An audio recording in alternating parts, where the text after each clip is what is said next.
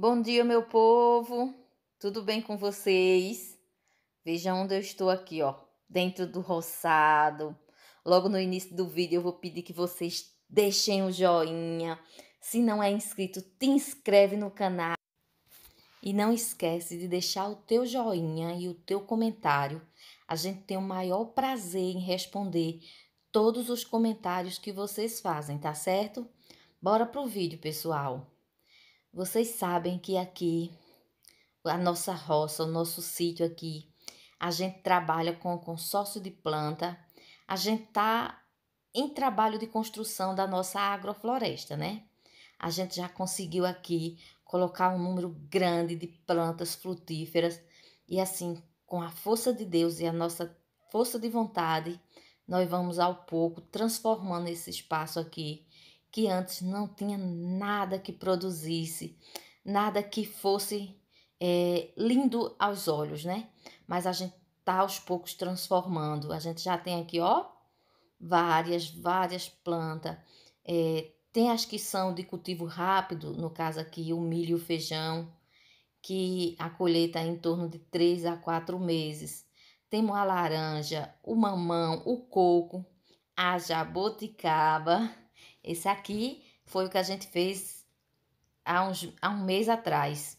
É, tem aqui no vídeo, tem aqui no canal o vídeo que a gente fez é, arrancando lá a raiz com o pezinho da jabuticaba e plantando aqui.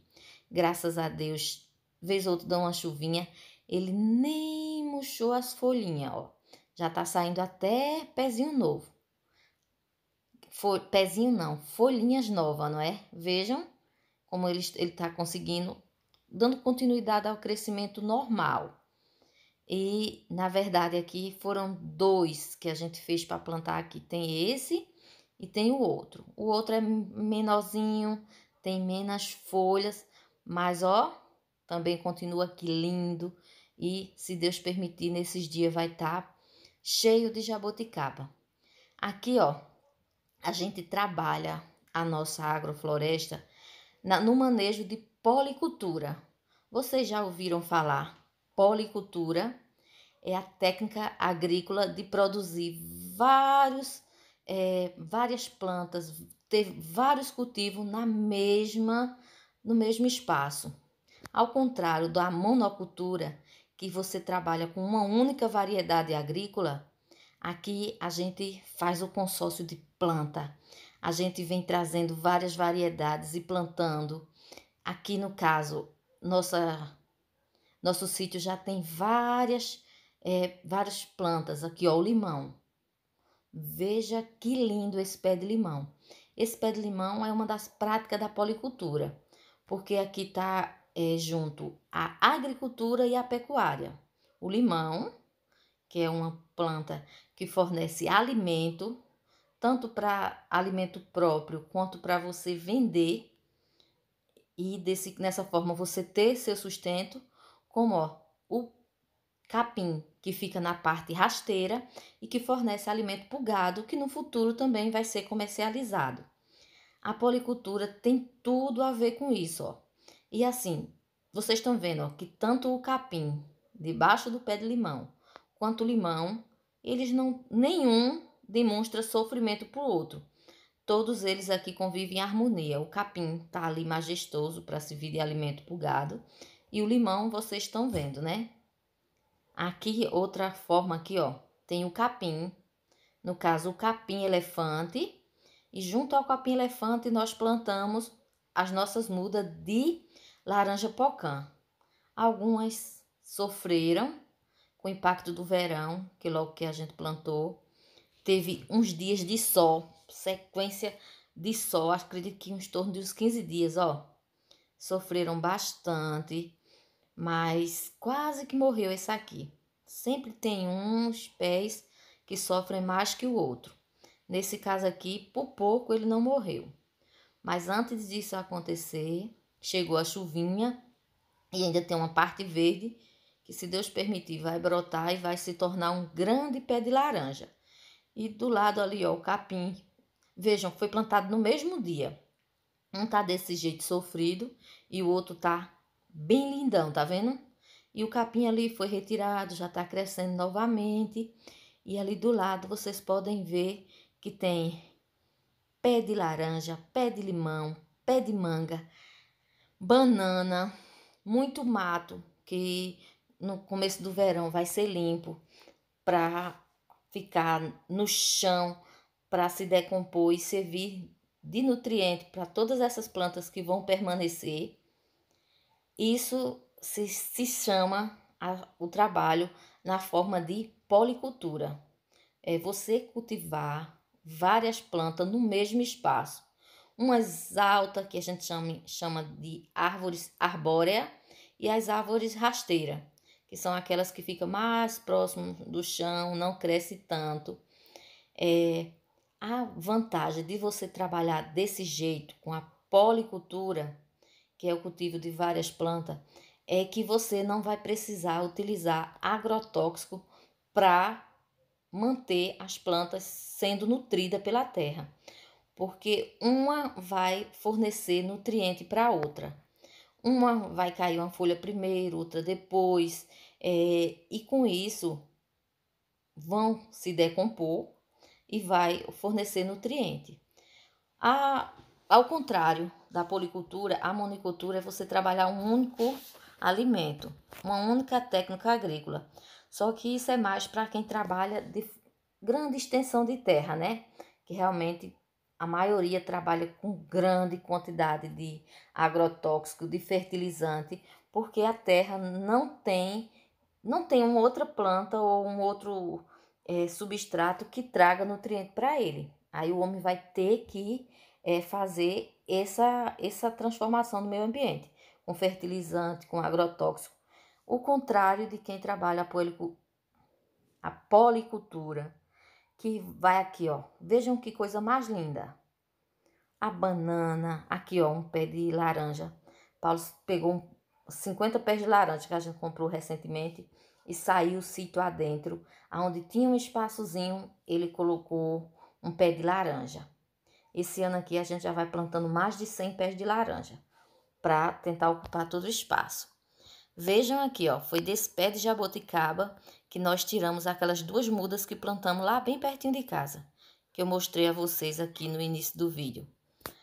Foram é, pés que saíram de raiz.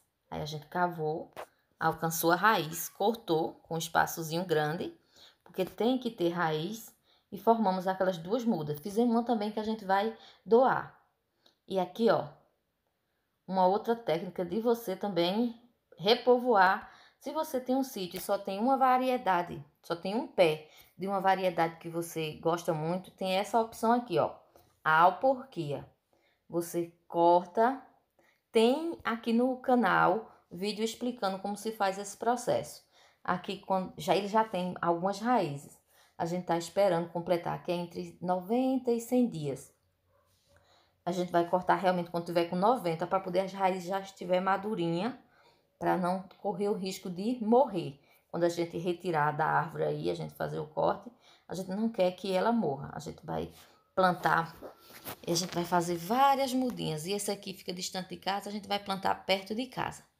E aqui, ó, esse mato, ele a gente já tá retirando aos poucos para moer e botar por boi.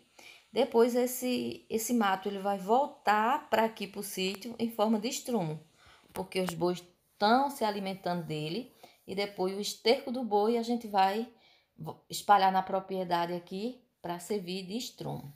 Aqui, ó, tem um espaço que é bem no terreirinho da casa, ó. Essa aqui é uma casa que está desativada e a gente plantou aqui na frente o milho e o feijão pardo. Agora a gente já está fazendo o segundo plantio, que vai ser o feijão preto, mas a gente já também plantou pés de laranja junto para não ficar esse espaço todinho aqui aberto. É muito espaço, a gente tem que ocupar cada centímetro, porque aqui nosso sítio é pequeno e a gente tem que usar todas as técnicas que sirva para a gente usar de forma consciente e não desperdiçar nem um espaçozinho dessa, dessa terra. Ali embaixo, ó, vejam, ali embaixo tem palma, banana e laranja. Tem também uns pés de macaxeira plantado por dentro, que foi Cris que plantou vez ou outra a gente vem arrancar, a gente arranca um balde de macaxeira em cada pé. E aqui, ó, fazendo o caminho inverso para casa. Que eu quis mostrar para vocês que a gente muitas vezes hoje ouve alguns termos assim, policultura, monicultura, monocultura, é, agrofloresta, consórcio de planta. E todos eles falam da forma correta. Vejam só, esse pé de banana caixão. Ele é bem debaixo de um pé de laranja de um lado e um pé de manga do outro.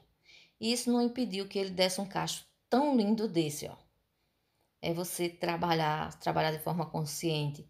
Quando você vê que um pé tá causando dano, tá assombrando demais, você aproveita e no tempo adequado você faz a poda. Além de você ajudar própria planta que você está fazendo a poda, você favorece a planta que está convivendo ao lado dela e você aqueles galhos que vão ficar no chão vão se decompor e vai fornecer nutriente para as duas plantas e até mais que tiver ao redor. Vejam aqui, ó. Essa seca ela limita de um lado o cercado e do outro aonde a gente faz o nosso plantio. Mas dentro do cercado a gente tem pés de abacate, pés de jaca, pés de manga, limão. Em, ambos os lados a gente trabalha a policultura, sempre associando de forma consciente, sustentável, todas as técnicas que for possível. Veja aqui, aqui tem ó, um milhinho pequeno e lá na frente tem uns que já são bem maiores, tá vendo? Bem maiores. Aqueles ali não dá umas espigas muito boas, porque tem é, a interferência da lâmpada, que a lâmpada ela causa esse impacto. Mas, ó, vai ser perfeito, vai dar ótimo. E assim, ó, zigue-zague de fio, zigue-zague de plantas, abacate, é, goiaba, pinha, laranja, nosso ecossistema policultura.